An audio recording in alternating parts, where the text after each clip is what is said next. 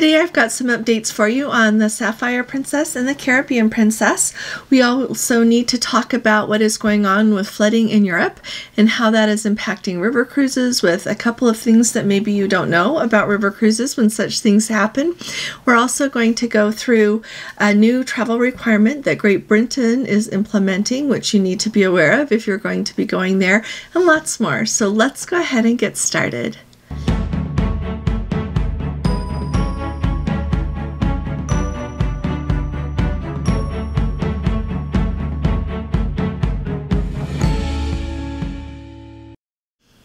Hi there, this is Allison with Let's Go Travel Tips. Today is Tuesday, it is September 17th of 2024. Let's start at the top with our updates from the ships. First of all, the Caribbean Princess right now is uh, sailing in the Baltic region and um, and uh, by Germany. On Sunday evening, the German military had to conduct an emergency medical evacuation for a sick passenger. So I am grateful to the Let's Go family member who let me know that this had to happen and that they were safely able to evacuate that guest. So um, our thoughts and prayers are indeed with that guest and their family. And I think it's wonderful about how everywhere everyone pitches in when someone is sick and needs to be airlifted or whatever they need. Next up, let's talk about the Sapphire Princess for just a minute. The Sapphire Princess this season is sailing in Alaska. At the very beginning of the Alaska season, as she was making her way to Alaska and then that first cruise, um, you might remember that they had a little bit of propulsion trouble at that time, went a lot slower than they were expecting. But also, another big change that happened on that ship is in kind of the extended area of the buffet. For a long time, had been a Sterling Steakhouse. When you think of Sterling Steakhouse, think Crown Grill, except for it was just located in the extension of the buffet but they made the big change and they have changed it to a a Brazilian steakhouse. It's called Churrascaria, if I'm pronouncing that correctly. And um, we've heard some reviews here and there throughout the Alaska season about that eating venue. But we've got some Let's Go family members on board this week, and I am really grateful for the updates that they are sharing with us on Facebook and in emails from different ones of you. All have commented how absolutely outstanding that uh, Brazilian steakhouse is. I'm telling you about it so that you can put it on your list of places that you would like to try if you enjoy that kind of cuisine. And also, I think it's really important to note, you know, they start off with changing a venue to a different kind of eating establishment. And I honestly think it takes them a little while to kind of get in their groove with that. I know the more I make a certain dish, the better I get at it. I learn all the little tips and tricks to make it superb.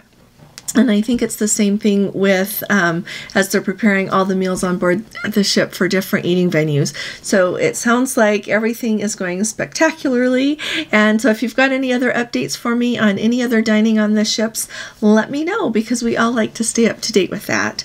Next up, let's talk about that new electronic travel authorization that Great Britain is going to start requiring. So we have talked about a couple of different authorizations or uh, ways to keep track of guests as they um, move in and out of different regions of the world. And we are expecting some time to hear when the ETIAS, which is a different type of travel of authorization, for the EU is going to go into effect. They've teased that a few times. They've had to move the date back for that. And so I'll let you know when I hear anything about that. But for now, we're still waiting for the day that that is going to be a go. Then I also let you know that they are doing that new exit and entry uh, way of keeping track of guests by using um, your face, using your fingerprints in some instances, other than just stamping your passport to keep track of guests as they enter and exit it? Well, uh, now Great Britain has come online with what they are going to be requiring if you want to enter Great Britain.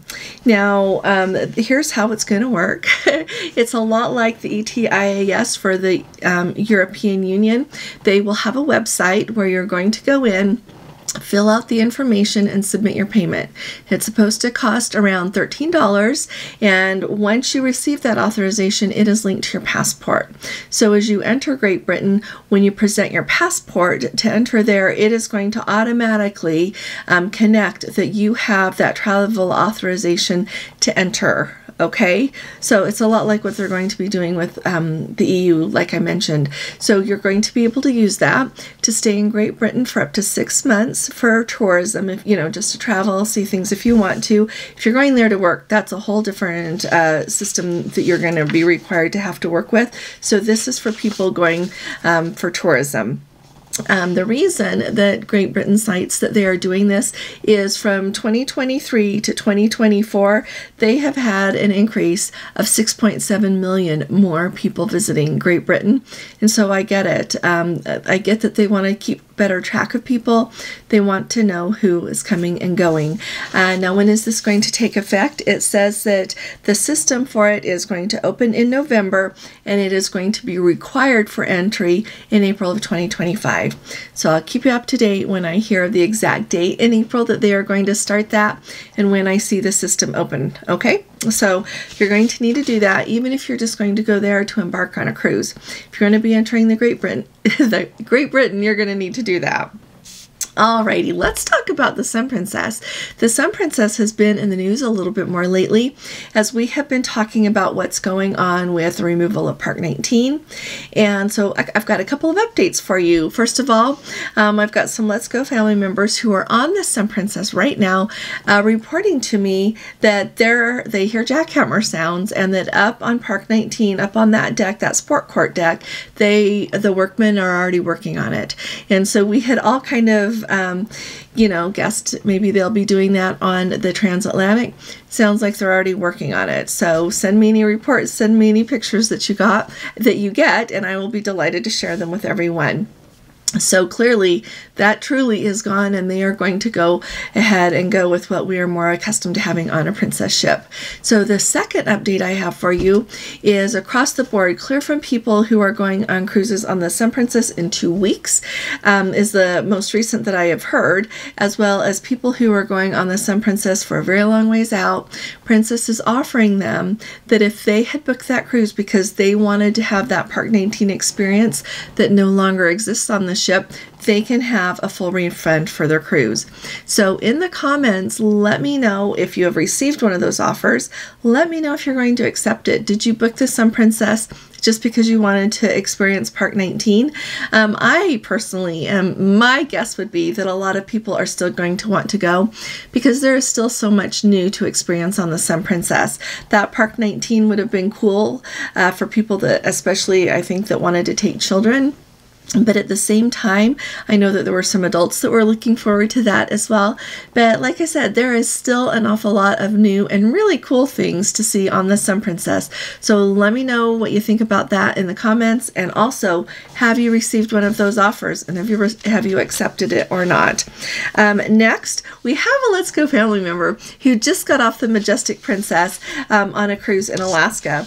And I love that she asked this. And whoever she asked, you know, I'll ask how many guests are on board and very it seems like i'm being a pain asking this when i ask people this but she asked the right person because they let her know that on her very recent cruise on the majestic princess that there were um, 181 elite guests 172 platinum. There were 147 ruby guests 497 gold guests. Uh, and these are loyalty levels by the way. Uh, gold is what you are when you're on your second princess cruise just for a point of reference. First timers there were 1800 and uh, the total capacity on the ship um, is around 4,000. That's if you put in like your third and fourth guests in cabins that are usually double occupancy. The regular occupancy on that ship is 3,440 guests. Um, 80%, 80% of the guests traveling had a package. That means they booked the plus package or the premier package. And I thought that was really, really interesting because you know, we talk about these packages so much and you have to weigh out whether or not you want it. What I really want to know when it comes to the packages, and I would love to hear from you in the comments, of course, put in there if you get a package or not, but also those of you who have not had a package, as we roll into this time where the, the where the new, um, well, the new Wi-Fi was supposed to start on all the ships on August 31st. So let me know how the Wi-Fi is if you don't have a package. I've only sailed on the Love Boat cruise and I had the plus package that week. So I want to know what the Wi Fi looks like if you happen to be sailing without a package because that's usually how Gordon and I sail. And I really need four devices in my life when I travel with Gordon. We each really use two at the same time, an awful lot. And so um, that's what's on my mind with all of this. So let me know what the Wi Fi has been seeming like, which, uh, without a package, I appreciate that. Now, if you have not subscribed to our channel yet, will you please go ahead and hit the subscribe button?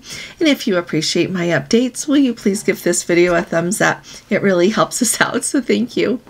Now, river cruising we talk about river cruising a little bit around here. I think we need to talk about it a lot more. But right now, there is a huge storm that has been hitting Europe for the last week.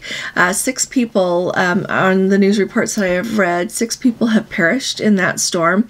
And the countries that are mostly affected are Austria, the Czech Republic, Poland, Romania, and it is coming into Hungary and um, Slovakia. Um, these last couple of days, it is starting to hit there. Along the Danube, there, um, I've seen pictures that show that they have a lot of sandbags in order to mitigate any of the effects of the flooding of the Danube. So when we think of all that happening, we not only, of course, absolutely first and foremost, pray for the people affected there because there is a lot of devastation, not only along the rivers there, but um, throughout Europe where this storm has hit. So it's a really big deal. Apparently, it was a system that came from northern Italy and came up and has impacted that region an awful lot. So we also think of traveling because that's what we talk about around here. And so I thought I would let you know what is going on with the different river cruise lines right now as they face what's going on. And I want to let you know that the river cruise lines are actually quite ingenious as they consider how they are going to still make the river cruises run in spite of what the rivers are doing at the time. Sometimes they have to bus guests when there is no way to have one ship take guests from another to the other ship or anything else they can do. Then they will bus you so that you can get to the point where you can get on the riverboat again. Okay, thought I would put that out there. But um, just to bring you up to date, um, Avalon Waterways right now has two sailings that they say are impacted, and they don't really say what they're doing. They say they are communicating with those guests who are impacted by the changes that they're having to make. Um, they are also canceling two future sailings. And um, AMA Waterways um, said that so far um, the high water levels have caused some inconveniences, but they have not had to change any of their itineraries yet. And let me tell you, it would depend also on where those riverboats are going to be sailing, right? Um, it sounds like right now the greatest trouble is in Vienna, where the Danube is right there in Vienna. Tell you about that a little bit more. Um, Riviera um, Cruises has also been forced to make some changes. A Viking spokesman said that they have not made any changes to their itineraries, but that they have a team. Um, I called I called Viking just to ask, and they have a team in Switzerland monitoring the situation, is what they've said. Um, Scenic Group, so Scenic owns the um, Scenic Riverboats and Emerald. Uh, Emerald riverboats, and um, they are getting ready to make sure that they can tag team any of their boats that they need to, is what they talked about. Um, the places, I guess, that everyone is most worried is Vienna, where it's the worst now, and Budapest, because that will come next. Um, there is a ship right now that is a Swiss uh, river cruise boat, and they are just outside of Vienna there, and they cannot get in to um, disembark in Vienna because apparently the gangway area there that they've got is flooded. So I'll keep you up to date with everything, but that's where we stand with the flooding right now and what is going on um, with river cruises.